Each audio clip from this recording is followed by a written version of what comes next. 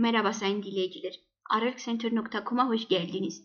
Bilirkişi Düşüncesi programında Azerbaycan'da var olan Talış ve Rus fobileri üzerine kaldığımız yerden konuşmaya devam edeceğiz. Farklı zamanlarda Azerbaycan devlet organları ve iktidar yanlısı medya Talış kelimesi başta olmak üzere Talış yer isimleri, bayrağı ve diğer sembollerine düşmanca yaklaşım gösteriyor. Bunu internete arama yaparak kolayca ispat edebiliriz. Devlet ve devlete bağlı kurumlar Talış ulusal sembollerini yok etmek veya yasaklamak için her yolu deniyor. Bunun yerine Azerbaycan Cumhurbaşkanı Türkistan ya da Büyük Turan'ın bayrağını sembolize eden Türk Keneşi bayrağını ellerinde gururla taşıyor. Kültür Komitesi Başkanı ve Milletvekili Ganire Paşayeva ise Gagavuza bayrağını gururla yükselterek öptü. Tüm fotoğraflara internetten ulaşabilirsiniz. Böylece bu konuda devlet başkanı ülkenin ünlü milletvekillerinden biri yasama ve yargı organlara taşlara karşı saygısız, hakaret edici tutumlarını açıkça göstermektedir. Yani Azerbaycan'dan 2000 kilometre uzakta yaşayan Gagavuz halkının bayrağı Azerbaycanlı yetkililer için Azerbaycan vatandaşları olan Talış ve Lezgilerin ulusal sembollerinden daha kutsal ve saygıya değerlidir. Kültür Komitesi Başkanı ve Milletvekili Ganire Paşayeva'nın hem Azerbaycan'da hem de yurt dışında Rusya karşıtı sert Rusfobik tutumuyla tanındığını hatırlatmakta fayda var. Çeşitli etkinliklerde Ganire Paşayeva Rusya'yı Karabağ Savaşı'nda Azerbaycanlıların yenilgisi ve hatta hocalı olaylarına katılmakla suçluyor. Ganire Paşayeva Ortodoks Gagavuzya'da bile Rus karşıtı propaganda düzenledi ve oraya Rus karşıtı yetkililer gönderdi. Aynı Gagavuzya'da Paşayeva Adım Adım Gagavuzyeri başlıklı kitabını yayımladı ve bu kitaptaki şiirlerinden birinde Moskova sadakatsiz bir düşman gavur olarak ilan edilmiştir. Bu gibi faaliyetler bir tek Azerbaycan Cumhuriyeti'nin Cumhurbaşkanı yardımcısı ve Azerbaycan Cumhurbaşkanı İlham Aliyev'in eşi Mehriban Aliyeva'ya yakın olan Ganire Paşayeva tarafından yürütülmez. Bu Rus karşıtı yetkilileri bir araya getiren, iyi organize edilen bir devlet çalışmasıdır. Bunlara ek olarak Azerbaycan makamlarının yerli halklara karşı faaliyet gösteren sağcı radikal örgütleri desteklediği gerçeği göz ardı edilemez. Azerbaycan'da yerli halkların tarihini tahrip etmekle ve onlara karşı düşmanca bir politika yürütmekle uğraşan en çok iki örgüt göze çarpıyor. Bunlardan biri Azerbaycan ve Türkiye hükümet yetkililerinin doğrudan maddi ve politik desteğiyle oluşturulan Bütov Azerbaycan Ocaklar Örgütüdür. Bu örgüt Türkçülüğü teşvik ediyor. Rusya, İran, Gürcistan ve Ermenistan'a karşı asılsız toprak iddialarında bulunuyor.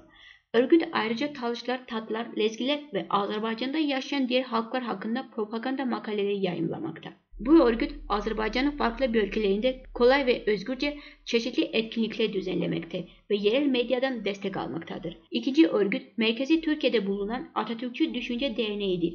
Bu dernek nispeten yakın zamanda tescil edilmiş olmasına rağmen yıllardır Azerbaycan'da faaliyet göstermekte ve devlet tarafından destek almaktadır. Dernek Türkiye'nin aşırı milliyetçi çevreleri tarafından finanse edilmektedir. Bu örgütün düzenlediği etkinliklerde yerli halklara ve komşu ülkelere özellikle İran ve Rusya'ya karşı milliyetçi düşmanca bir tutum sergiliyor. Tüm bunlara rağmen bütün örgütler Azerbaycan'da özgürce faaliyet gösteriyor. Kimse onları rahatsız etmiyor. Aksine onlara büyük maddi destek veriliyor. Öte yandan radikal bir milliyetçi, Türkçü, Sivil Dayanışma Partisi Genel Başkanı ve aynı zamanda milletvekili Sabir Rustamhanlı son zamanlarda dikkatleri yine üzerine çekti.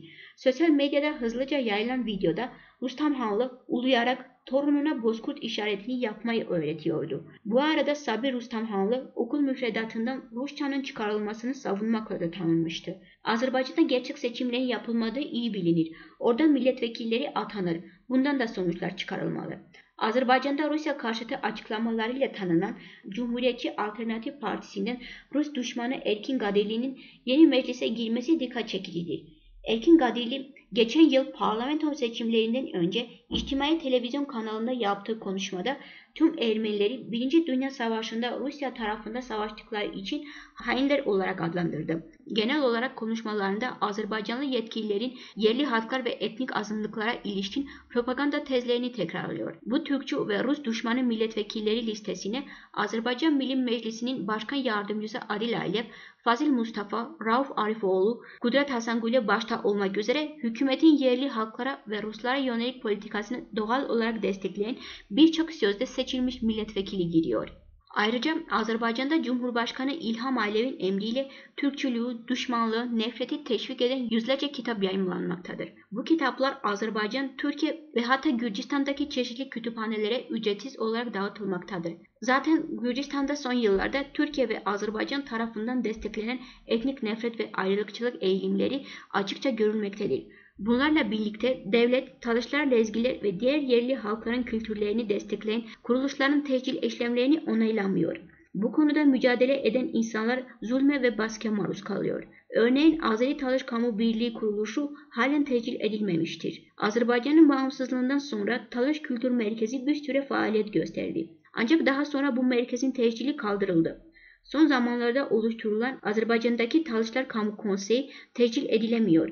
Çünkü devlet kurumları bu kuruluşun taleplerine yanıt vermiyor. Bu ülkedeki talış siteleri yetkililerin emriyle engelleniyor veya bilgisayar korsanları tarafından saldırıya uğruyor. Talış kültürünü ve tarihini derinlemesine inceleyen herkes devlet organlarından çeşitli baskılara maruz kalıyor. Bununla yetinmeyen Azerbaycan hükümeti yurt dışındaki talışları da rahat bırakmıyor ve talışların Azerbaycan dışında örgütlenmesini durdurmaya çalışıyor. Ancak tüm bunlar rezonansa neden olmamak için perde arkasında ve gizlice yapılır. Bütün bunlar Azerbaycan'ı yöneten Türkçü iktidarın taşlara baskıcı ve ırkçı bir politika izlediğini gösteriyor. Ancak dünyanın jeopolitik planların ve projelerin nasıl değiştiğine bakıldığında Azerbaycan'daki tüm bu düşmanlığın önümüzdeki yıllarda sona ereceği anlaşılıyor. Sonuçta geri dönüş yolu yok. Sadece uçuruma doğru ilerliyorlar. Bugün bu kadar sayın dinleyiciler. Bizi dinlediğiniz için teşekkür ederiz.